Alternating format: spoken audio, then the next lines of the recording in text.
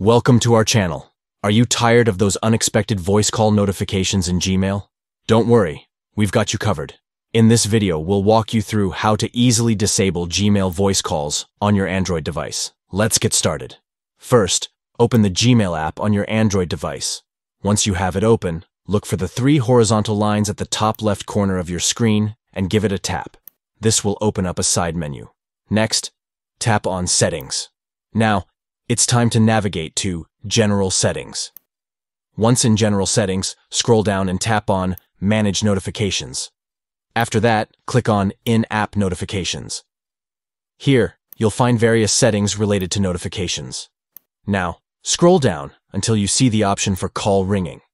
This is the final step. Simply disable that option and you're good to go. And that's it. You've successfully disabled Gmail voice calls. If you found this video helpful, be sure to like, share, and subscribe for more tips and tricks.